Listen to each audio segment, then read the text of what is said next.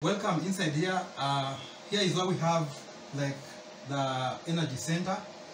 From the panels up, the power comes down through this trunking uh, into this 1.5 uh, kilowatt inverter from Alpha Outback Energy.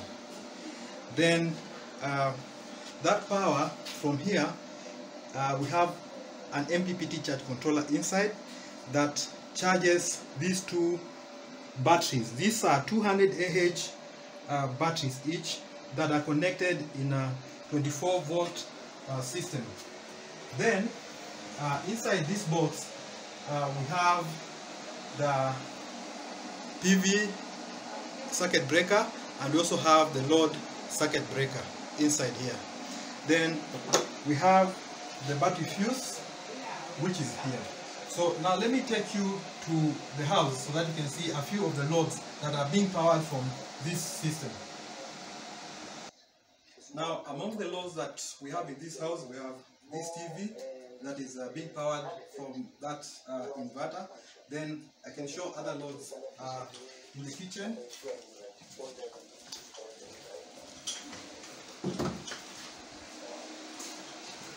So in the kitchen we have this light here and uh, we also have uh, this fridge that's also being powered from the same same uh, system.